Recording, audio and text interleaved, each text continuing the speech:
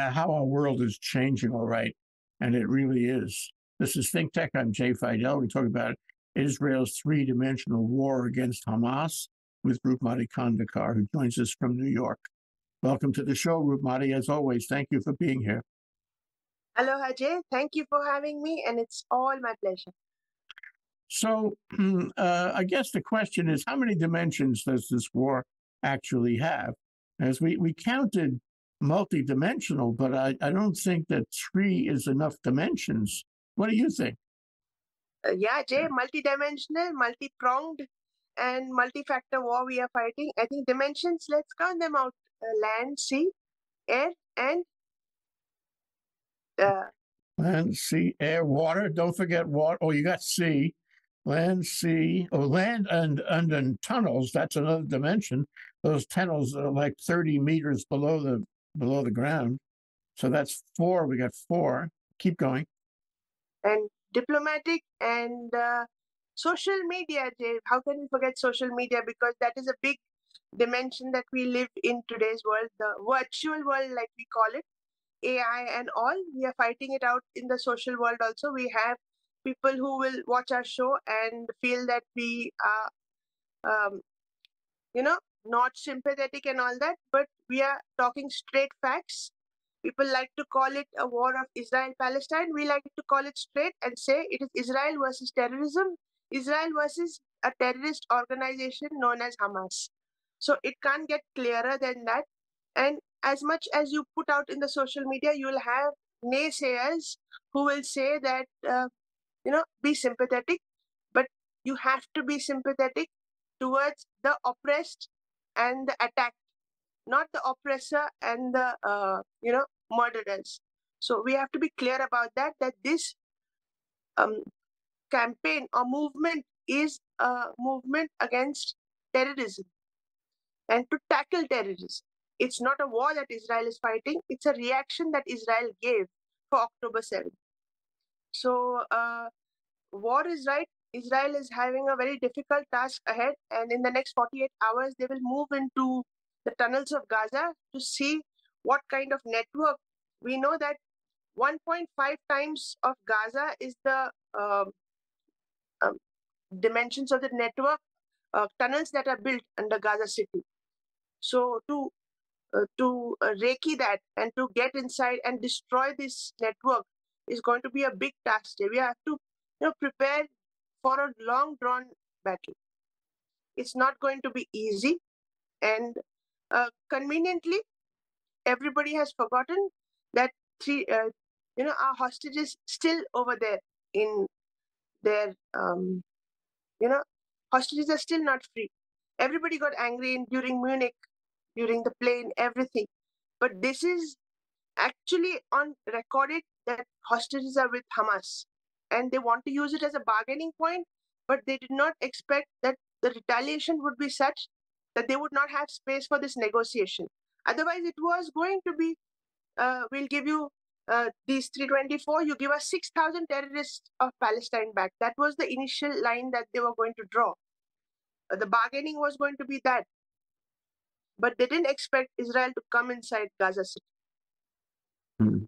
And uh, Jay, uh, the suggestions that you gave during the tunnel episode, I think the Israeli Defense Forces have heard it about flooding the tunnel, about smoking the tunnel. So I think they're watching us. well, they have they have their hands full. Um, there's a couple of things that have come out in the last uh, day or so and that is that they when they're finding the access points to the tunnels, and they're finding some basic you know techniques that uh, Hamas has has used over years, and especially now. Um, Hamas has put the access points in schoolyards, in playgrounds, in you know kids' ball fields, swimming pools, um, all the kinds of places uh, that that you you if you attack them uh, Hamas uses that against you and and and uses the kids uh, as human shields, and that's their technique. It, and one one Israeli said that's about as cynical as you can get, because they're forced they're forcing the Israelis um, to use force on the on the openings to the tunnels but they're putting virtually all of those openings in places where kids are and hospitals. Hmm. That was the plan from the beginning, Jay, to use civilian shields for their military purposes. And uh, I think a couple of days back, they uh, the Israelis targeted a solar panel on a hospital because you see they have a lot of uh, dependence on internet, on this electricity, which is not used for you know the hospital purposes, but rather these militants for their survival. They are trying to choke them out so that they come out and leave the civilians alone. But if you're going to use civilian shields, it's going to be a difficult task. Then you count the toll and then you compare. So that becomes unfair on the Israelis when they're fighting this because that that dimension cannot be calculated. It is a made up uh, shield that they use, Hamas uses to uh, cover up their terrorist activities. So yeah, children are being used one sided, Jay. Children of Israel who died are not being are virtually ignored. And you know, you have these martyrdoms which are celebrated and put on. There was a clip, if you have seen it, I don't know, that they were showing on um, uh, screens in the middle of Gaza the way the, the terrorists had come into uh, Israel on October 7th. And there was cheering and applause and everything going on. Now, when you are literally in the midst of a war, the civilians should understand this is the reason why they are suffering and move out. But they are watching the footage of hostages being taken, people being murdered, and they're celebrating and uh, whistle calling. So, I mean, that mentality we cannot fight any dimension we go. That mentality of seeing Israel suffer is very real, Jay. And it's yeah. not spoken of about. I mean, you display this on screens. On the other hand, you have Israel who refuses, so many families refuse to show footage of people suffering. And then you have this side where they celebrate terrorists, um, uh, you know, terrorist atrocities on screens in the middle of the street. Oh, well, that you know, uh, um, it's really it's really horrible, and the Israelis are reluctant to, um, you know, to show pictures of body parts and people who have been beheaded and burned alive. Um, it's it just to describe it is very disturbing, but um, but they don't like to show it. Lately, however, lately the Israelis have, I think they realize that they really have to get into the um, the public relations, you know, the, the PR war. So they've been doing interviews of the families, the brothers, the sisters, the parents, the children, the friends, relatives who have lost somebody, um, or the ones who actually escaped. Not many of those, and and they have um, had them interviewed, and they talk about what happened. And so, if you go on um, the, the YouTube, which is where it is, YouTube, YouTube, may I say, is serving a tremendous um, benefit here because that's where you get the latest news, sometimes minute, minutes old. Um, and you see all these interviews, and it's like the Israelis now realize that they have to show what happened to them. Uh, up to this point, you know, the all of the public the propaganda has been on the part of Hamas, who, as you say, planned it out in advance. This is part of their war. Um, again, very, very cynical. By the way, it is a war crime to use a school or a, a, a you know a, a, playing court or a hospital, a place where children or um, people who are sick are supposed to be located um, as human shields. That's a war crime right there. And I don't think the Israelis have a choice but to take those places down. Uh, on the other hand, I don't think they've made it clear that's one of the big factors for them. Um, they cannot let Hamas continue this because Hamas is sworn to destroy the state of Israel from the river. And that means the nobody on American college campuses knows what river it is. But I'll tell you, it's the Jordan River, from the Jordan River to the sea, and that's the whole state of Israel. Um, and these guys want to destroy the entire state and kill all the Jews and and and force them into the sea, drown them, murder them. Um, and, and Israel is um, intimately acquainted with that possibility from the Holocaust. There are those people who would like to kill every single Jew for, re- for reasons that are really elusive, but that's what they want to do. It's it's it's um, anti-Semitism that we haven't seen since World War II.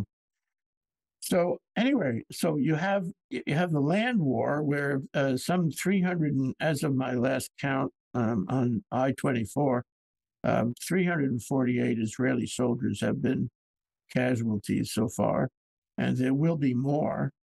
Um, and you have a situation where you you go into one tunnel, but the guy, the other, the other access to the other tunnel is right behind you, and they pop up like whack-a-mole and shoot you.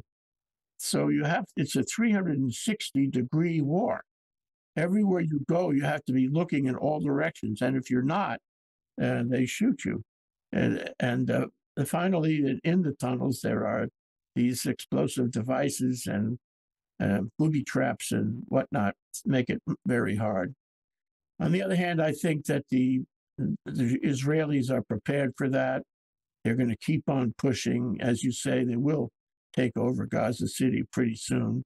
And when they do, they're going to work those tunnels. They're going to go down in those tunnels and destroy them and destroy anything, any Hamas equipment and, and Hamas fighters they find there.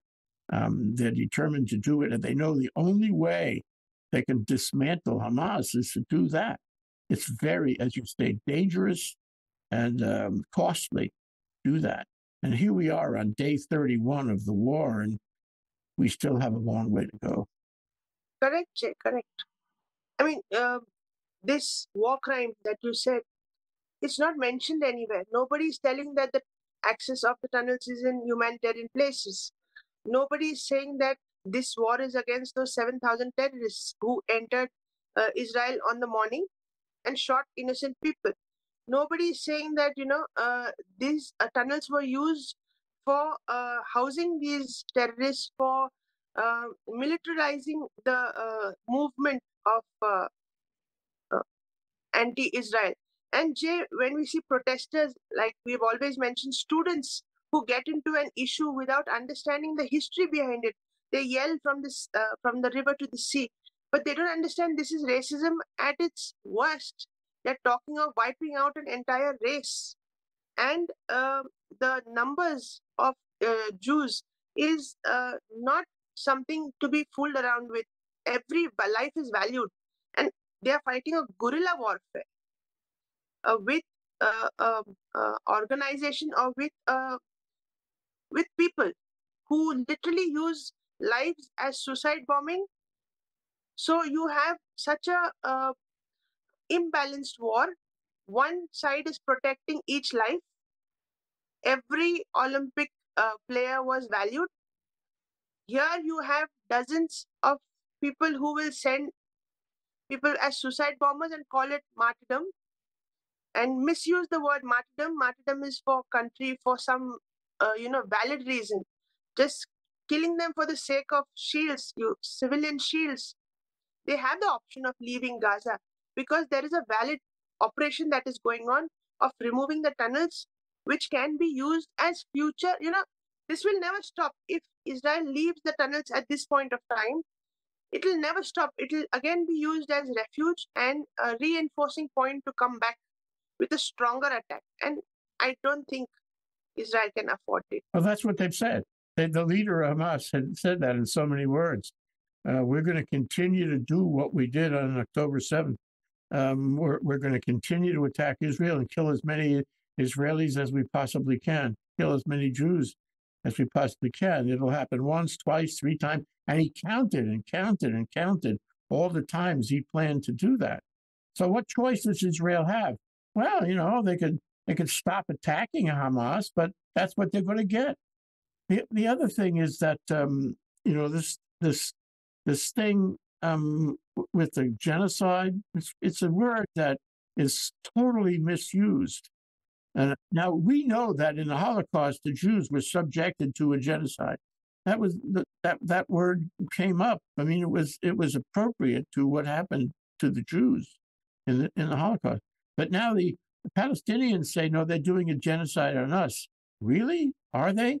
Because the population the Palestinian population has doubled in the last what ten years, and everybody says, "Oh, Hamas uh, and the you know uh, Gaza is uh, very heavily populated. It's one of the most heavily populated places in the world." Okay, and also that that fully half of the people in Gaza are mm, what children um, below, below the age of I don't know what it is, teenagers. And you say, wait a minute, if if this is genocide, um, how come there are so many people there? How come there are so many people being born every day? Um, what kind of genocide is that? The Israeli birth, uh, you know, fertility numbers are way less than what's going on. so, yeah, um, I'm very troubled. Yeah, it forms part of uh, a reason why uh, we can study or look at Islamophobia, right? They come in numbers and they come in numbers and then they use those numbers to come with swords. And then they cry foul, they cry words like uh, genocide, ethnic cleansing. These are words which are not come from any other religion other than Islam. Islam, you know. I mean, it's very harsh. It's very not every terrorist is Islamic, you know. but that that is a majority religion that uh, reflects in everything and now i'll tell you public memory short. We will think of israel versus palestine. But it's israel versus hamas and hamas has taken such a confidence booster in this point that they could enter israel and kill. Yeah. so that we feel that maybe they are disturbed. No they must their confidence level may, must be at such a high. They don't value the numbers. They don't feel the pinch of lives.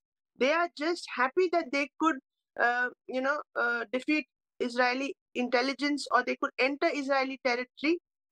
Israel was on the waiting side. Israel, if Israel had attacked, we would have had a different uh, program today. We would have spoken of both ways. Why? Because we have a balancing perspective in mind. But I told you, univocal condemnation of Hamas by Islam is missing, Jay. Big time you know you have uh, the brotherhood coming and shielding the terrorist activities unnecessarily if it's wrong it's wrong. If you're killing people and you're trying to bring out a, uh, you put out a race entire race and uh, uh you know crying wolf that your race uh, you know these war crime words on yourself. When in fact they are the ones who are committing these war crimes and ethnic cleansing and genocide and all that. That is the intention. And let's be frank about it, Jay. If Israel did not have the kind of support that they uh, want to coexist, they don't want to dominate and destroy, but they want to coexist. Today, six countries are just waiting in to finish off Israel. So we have this kind of uh, warfare that is waiting, the deterrent is that the world supports Israel. Every leader has come and said that Israel should win the war. Humanitarian pauses and everything is okay, but nobody will tell Israel that you get defeated by Hamas or you fall uh, prey to Hamas, except for the countries who don't understand that this is um, a country who is facing terrorist attacks on a daily basis. Well, they're, they're still sending rockets. Hamas is still sending rockets at Tel Aviv, long range rockets right now, today. It's that pop up thing, that whack-a-mole thing. What happens is at the tunnel access point, they pop up with a rocket and they fire it at, uh, at somewhere in the middle of Israel. And uh, thank goodness that the, the Iron Dome stops most of them, but not all of them. And and then they fire another one, and it's uh, I don't remember the numbers, but it's it's dozens or hundreds or maybe thousands of rockets are still being fired um, by Hamas. So what you have is a they're still fighting, and they're they're shooting the Israeli soldiers in the back usually, and b they still have the hostages, and c they're still firing the rockets into Israel. So, you know, if you were a rational organization, you would say, okay, okay, let's make a peace on this. let's stop doing those things. Let's release the, the hostages. Let's stop using human shields anyway. Uh, let's um, let's stop firing rockets. Let's stop fighting. Here's a white flag. We give up because we don't want any more Palestinians to die. If they were rational, they would simply hold up the white flag in order to save the lives of the Palestinians. Instead, they say to the Palestinians, no, don't go south. Stay here. Keep using the hospital, even though it is it is a, a, a target it must be a target for Israel. Um, and and we want your complete loyalty, or else uh, we're in charge of what you do, and we want you to die for the Hamas cause. And that's really not giving up, it's only leading people to die.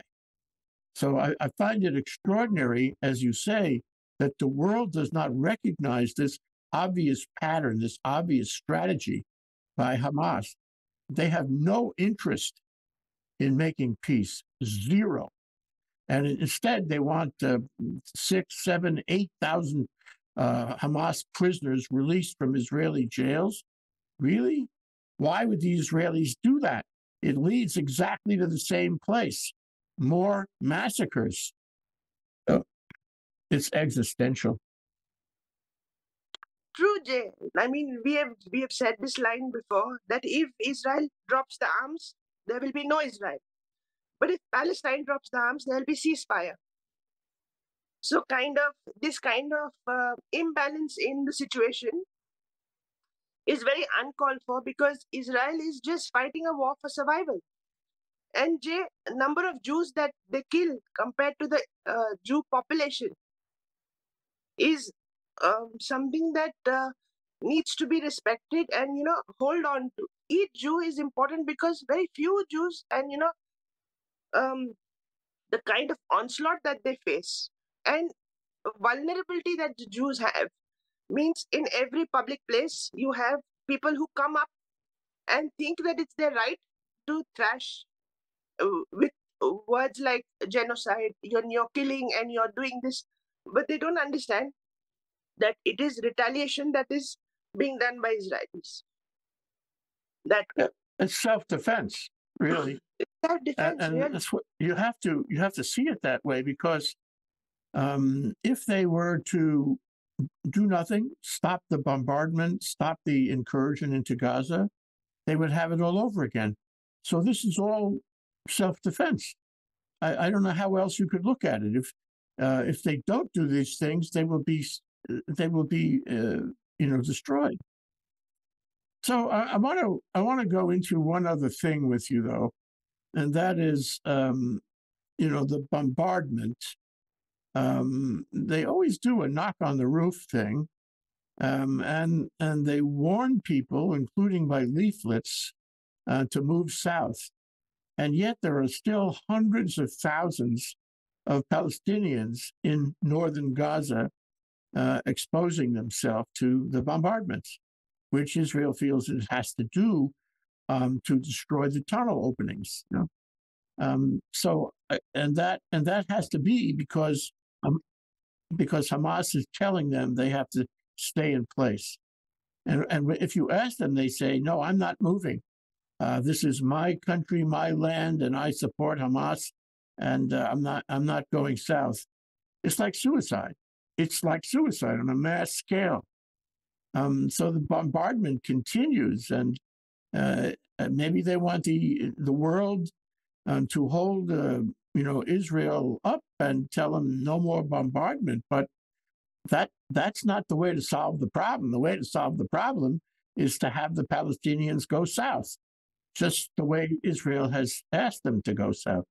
I mean, I don't think, I just don't think people understand this. It's not getting out. And those people who went to Washington and on these various college campuses, they do not understand that this is an existential war for Israel and all Israel is doing is is doing a kind of um, defense, and uh, I don't understand why that is. It's it's a it's perverse. Meanwhile, you have all these other factors. You have the the um, you have the um, uh, the social media, which is going out and having some effect, obviously, on the college campuses and in various in, in all Arab countries that that have uh, Palestinians because it's political for them. But you know, I wanted to cover with you, uh, Roopmati, the, the, the United Nations, because the United Nations has been. Uh, I don't think anybody will disagree. The United Nations has been useless uh, in not only in the Security Council, which is hampered by the presence of Russia, who supports Hamas, and China, who supports Hamas, mm, but also the General Assembly. Um, and uh, the Israelis have made some powerful, passionate speeches to those guys. What's wrong with you? How come uh, you want to call for peace, but you never had a resolution here uh, that would condemn the massacre? Your thoughts about the effect of the United Nations?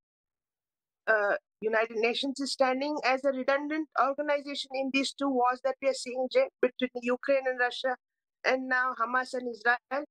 And when it's Hamas and Israel, they're refusing to put the word Hamas into the resolution that uh, describes the war. So how can you go ahead? They, the Secretary General himself calls Israel occupation. It's biased, Jay. And as an international organization, they have to be neutral.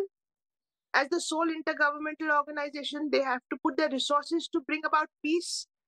If you're not going to acknowledge what is terrorism, and this is a terrorist attack on a sovereign nation, on the, on the only democracy in the Middle East, these are words. These are these are very small words, but they have big implications because Jay a democracy surviving in an antagonistic environment which is out to wipe it off the map and facing terrorist attacks every day, the United Nations should have come in and uh, given a very fair resolution to this. They have the option of responsibility to protect, like we had discussed, where the coalition of uh, countries will come together and broker peace. But there is no interest in that. It is just discussion, putting it out on the table and forgetting it. The hmm. action is missing in this organization because infrastructure is available, but action is missing.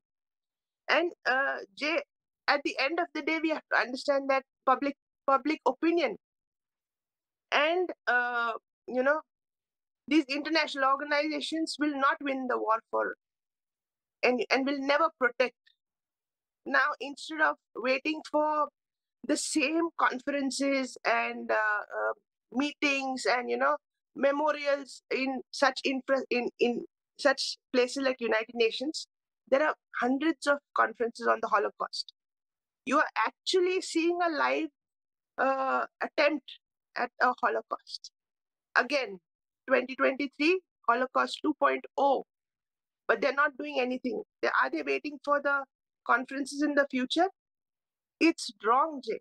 The action has to be today so that there's no Holocaust 2. It is very clear there is no two ways about this. But United Nations, with its discussion panels and everything, they do not even have a definition of terrorism in the world, Jay. This one man's uh, uh, will is another man's freedom or something like that is the motto that they keep in, but no definition of terrorism they have definition of genocide ethnic cleansing everything and they put it on labels on everybody but they don't have definition of terrorism. Waking up in the morning to seeing terrorists in your city and killing your loved ones is the highest form of terrorism that a country can face. And leaving that is implying that tomorrow you can come back. Mm-hmm. still hostages are there. How many times you have seen the un push for hostages? How many times you have seen the UN say that all countries should come together and, you know, uh, hold Hamas responsible for this? They refuse the word Hamas. Now, what can you say to this? The Israeli diplomat was not allowed to enter the uh, premise. He was asked for an ID check. I mean, that is uh, that is biased. And if you have 200, uh, 140 countries who voted for the uh, resolution, how much uh, do they contribute to uh, the working or how much do they know about what is happening in Israel? that is a big point because they went in a group this if majority and i really thank vito for this in this case because if this was about majority and minority always it's been against israel and us and what is the hatred? What is the uh, target? And uh, you know the phobia has to be the other way. But this is for people who are protecting human rights who are asking for existence and who are asking for non-terrorist activities to take place when the israelis allow palestinians and israelis can israelis can coexist but palestine people will never allow israel to coexist with them just twist it and see if palestinians were in power in place of the Israelis? Would they have allowed funding into Gaza? Would they have allowed uh, schools, colleges to be built in Gaza? Would they have allowed Palestinians to come and work in Israeli territory? No, they would not have. They don't have tolerance. The ultimate goal, their suicide, is martyrdom. So they look forward to suicide. Now, how can an army of people fight against such a mindset? this me- mentality is one dimension that Israel is fighting in this war. This mentality of suicide and self demolition for the sake of freedom, that they believe that they will go to paradise, is something that, you know, every Israeli soldier is valued. But Hamas, if how many ever are killed, they say that they will. If my brother gets die, uh, if my brother dies, I will send my friend because they will all go to heaven. That kind of mindset is difficult to fight KJ in oh, this. you're uh, absolutely right. War. So, I mean, it's very uh, straightforward. But one religion is promoting martyrdom to go to paradise. Well, it's promoting and, hatred first. Yes, yes, yes. So yes, you have you have hatred, you know, that, that is an abiding experience for the people in in uh, Gaza, especially the Hamas, but also a lot of Palestinians. They they're they're raised in hatred. And and what's interesting, I was telling you that the um, the Jewish uh, i24 has all these interviews of Israeli family members and brothers, sisters, what have you, and uh, fellow fellow soldiers, uh, all the people around the, those who were killed, and one one thing pervades in all of these dozens and dozens of interviews that you can find on YouTube is that um, uh, that they were all into family and they were all loving. Um, they all had a, a, a, sort of a lust for life.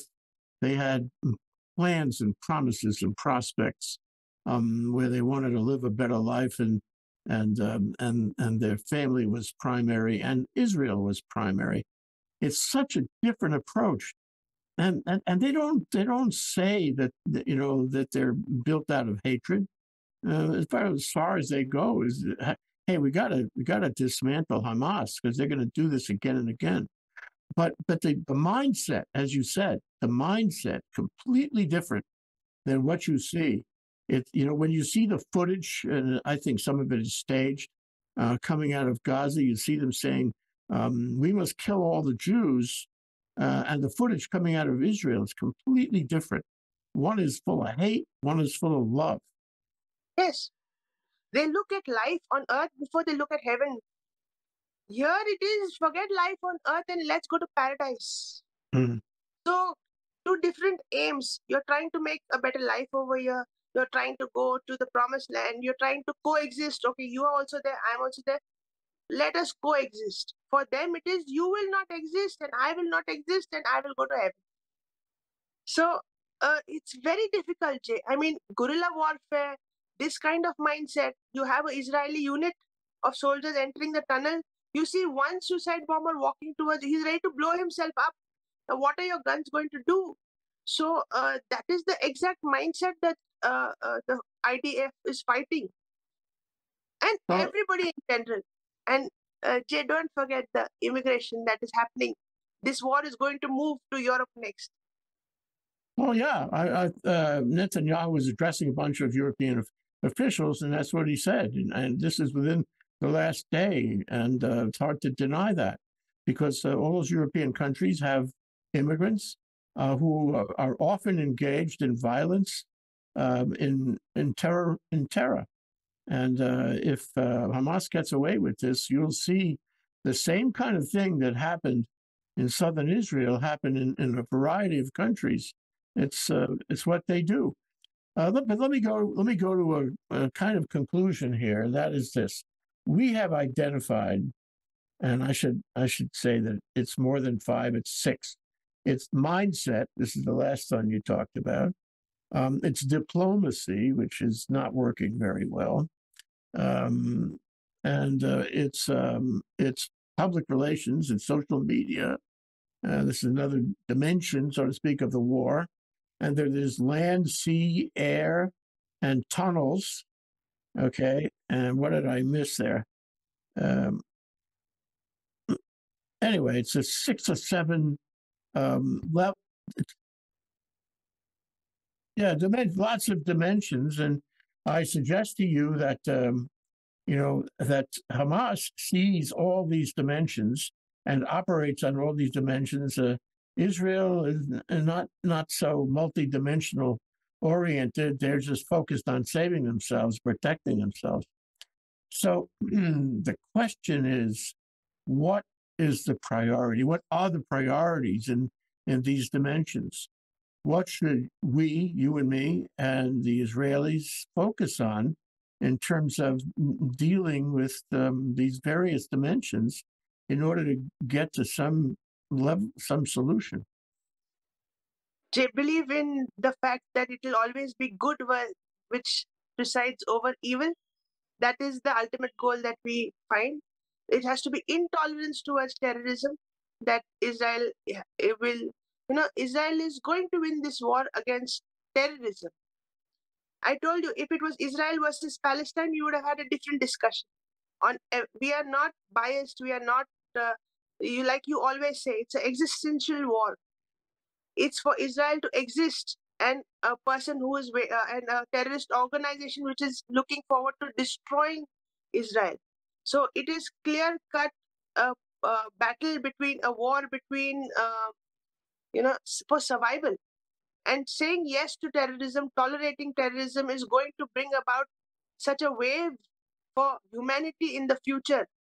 If Israel loses this war, humanity will lose at such a big uh, level. We'll again have conquering by sword. So is is it the is it the shooting war that's the priority? Is it the ideal war? Uh, you know, in terms of social media and public relations. Uh, a footnote to that, by the way, as you mentioned the term occupied that Guterres used at the UN, that Israeli Israel occupies. Uh, that is such a misnomer. Israel doesn't occupy Gaza. Gaza controls its own self. Gaza is self-ruled. Israel hasn't occupied Gaza since it left, what, 20 years ago. Um, I don't know why people use that term. It's really offensive because it's a lie. And so the thing about misinformation and disinformation, it's it's a big factor. It's a big dimension in all of this. Uh-huh. when you see these numbers flashing 10,000 dead, 10,000 dead, Jay, we have 3,000 uh, finished in Israel, but that has stopped because now the terrorist forces are not entering. So that number is not going to move. It's logical. But you're seeing this number increase. How many of them were, were uh, terrorists, how many of them were uh, civilian shields? Everything has to be sorted out. You can't just say 10,000 today, 11,000 tomorrow. Why is that happening? Because innocent civilians were killed in their homes, and that should not happen in the future. So there is an offensive against a terrorist organization. I mean, public memory is so short. They just look at the numbers and they are saying humanitarian pause. Human, humanitarian humanity was destroyed on October 7th.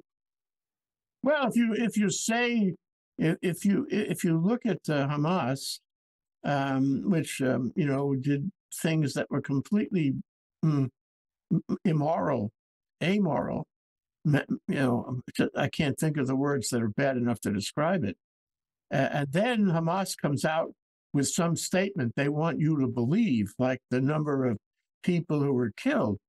How can you believe them when they just got back from doing the most immoral acts that we have seen in, in 70 years. How can you believe them when they when they speak to you and ask you to believe them? You got to be crazy. You got to be crazy to believe somebody like that. Uh, It's not a one-time act. It has potential for a next uh, onslaught, which will be bigger, deadlier, and you know more confident. If their confidence is not dented or they are not finished, it will come back again. And Israel cannot afford this. I No. mean, come what may, Jay, Holocaust 2.0 cannot happen. there you go. uh, you have to stand with Israel for this because it's a war for justice. Yes. Thank you, Roopmati. We will we will continue to follow it. I think it's important that you and I, you know, circle back and uh, check out the events to follow. It's certainly not over. 31 days, and it's certainly not over. So thank you very much. Yes, yes. Thank you very much for this discussion, Roopmati. Aloha. Aloha.